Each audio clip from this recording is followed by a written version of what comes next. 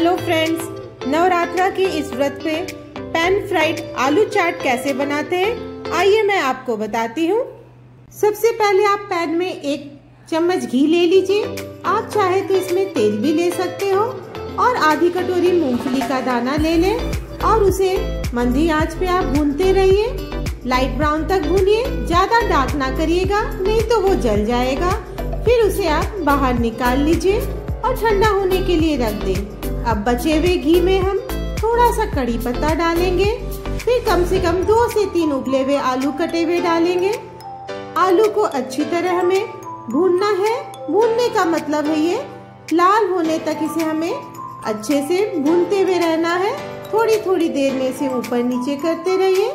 फिर ये जब थोड़ा करारा हो जाएगा आलू तो उसमें हम कटी हुई हरी मिर्च, दो या तीन हरी मिर्च आप डाल लीजिए, उसे भी थोड़ी देर और भूने। अब ये मूंगफली का दाना ठंडा हो गया है, उसे थोड़ा क्रश कर लीजिए। मिक्सी में मत पीसिएगा। फिर इसके जो छिलके हैं, उसे साइड कर दीजिए। आलू करारा हो चुका है, हरी मिर्च भी भून चुकी है। अब इसमें जो क्रश किए हुए मूंगफली के दाने हैं, उसे आप इस आलू में डाल दीजिए और गैस को बंद कर दीजिए। फिर दो मिनट तक गरम पैन में उसे यूँ ही मिलाते रहिए।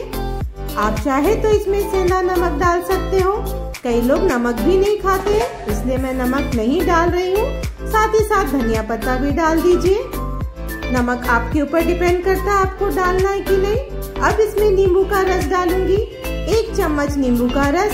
साथ में उसमें मैंने थोड़ी सी पीसी हुई चीनी भी मिलाई है, क्योंकि चाट हमेशा खट्टी और मीठी ही अच्छी लगती है। आप चाहे तो चीनी ना मिलाए, नहीं तो नींबू के रस में चीनी मिला के इसे डालिए। और बस ये आलू चाट पैन फ्राइड आलू चाट तैयार है।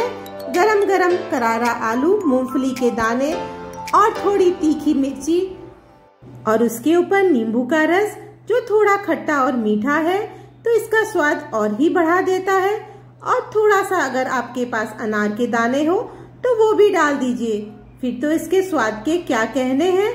बस, मज़े लीजिए इस चाट के। Thank you